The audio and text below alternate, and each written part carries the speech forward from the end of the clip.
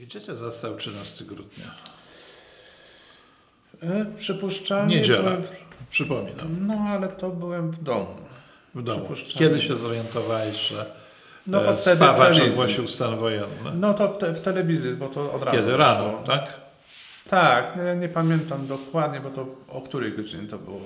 No od 6 rano spawacz już nadawał. No. Tak, ale to, to wiedzieliśmy. To jest Kraków, to jest telewizja i tak dalej. Także to poza tym rodzina, wszyscy wiedzą. Jak ktoś nie usłyszy, to kto inny usłyszy na tej zasadzie. I powiedz mi, e, co w tym momencie robisz? No nic, praktycznie mówiąc, bo, bo co mogłem zrobić? Tak jak mówię, nie byłem w strukturach y, Solidarności, jako ten młody człowiek, to w sumie to on mnie tam nie, nie pchał wtedy, żeby, żeby coś y, y, zajmować, byłem nowym człowiekiem w zakładzie, także to wszystko przeszło tak po prostu jak film obok mnie. A powiedz mi, czy w armaturze był organizowany strajk? Nie przypominam sobie, żeby było. Może, może przymierzali się do tego, ale raczej nie było. Czy organizują się w zakładzie podziemne struktury Solidarności? Czy odprowadzacie dalej składki na Solidarność? Tak, to było dalej. Komu płacisz? Już też nie pamiętam dokładnie. Nie wiesz, jak się człowiek nazywał Nie, z imienia nie i nazwiska? Nie, nie.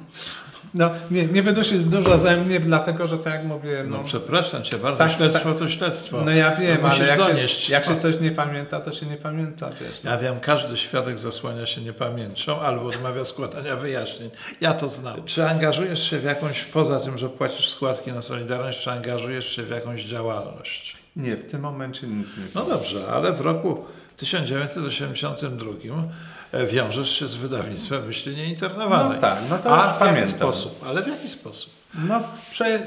jestem ze swoim kolegą, Którym? raz... Krzyżewskim, Krzyż... Krzysztof Krzyżewski. Krzyżewski, tak? Krzyżewski. Krzyżewski, Krzysztof Krzyżewski. Krzyżewski i nagle podchodzi pan Tomek Tak, to ja podszedłem do ciebie. tak, i, i pyta się, czy ewentualnie nie wziąłbym udziału w tej A działalności. gdzie to było? To był gdzieś na korytarzu, w samej armaturze. To byłem ja? Tak. Jak To ja tam trafiłem? Nie wiem jak trafiłeś, dlatego mówię. To byłeś ty, zawsze przeciwiłem, jak się to stało. Ja byłem przekonany, że, Że- Władek Krzek cię... Krzek, krzek był, ale ty, ale, ale ty też byłeś chyba. Aha. I raczej ty mówiłeś, on był, ale raczej ty mówiłeś do No mnie. tak, bo ja, ja jestem bardzo gadatliwy, no więc to, to No naturalne, i, tak? No i wtedy się zgodziłem. Zgodziłeś się. A Zgodziłem dlaczego się się zgodziłeś?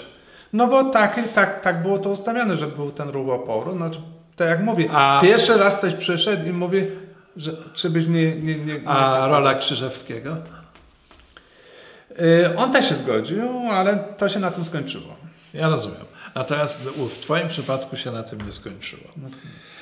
E, To już uprzedzam, w krótkim czasie stałeś się kluczową postacią sekcji technicznej.